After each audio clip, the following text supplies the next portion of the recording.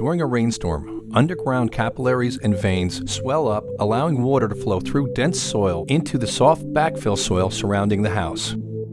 Repeated rainstorms will break down to three to five year lifespan of waterproofing surrounding the house.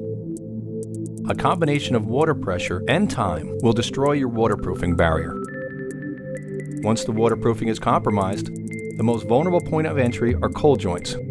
These are the areas where walls make contact with the footing along the keyway, and the floor makes contact with the wall and footing.